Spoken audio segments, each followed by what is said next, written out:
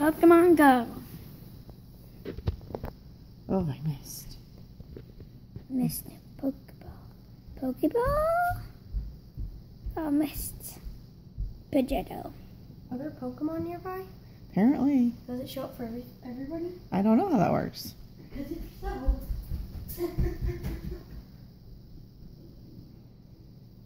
You can go down to the fountain. It's pink right now. You can get some extra goodies. All right, I gotta concentrate. I'm a little distracted. There we Got, go. got him. A gotcha or a remake? see. Gotcha. Pidgeotto is cut. Toot. I heard a toot. I didn't.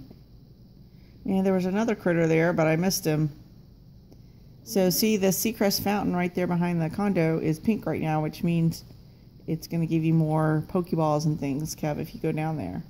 The Poke Stop. Yeah, I went, yeah, I went down there earlier, and um, it cost money to get stuff. and It doesn't cost any money.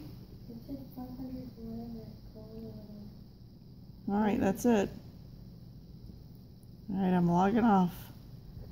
Bye bye. Thanks for watching this Pokemon Go video. Make sure to like and subscribe, and we'll do more, so please watch them. Bye bye.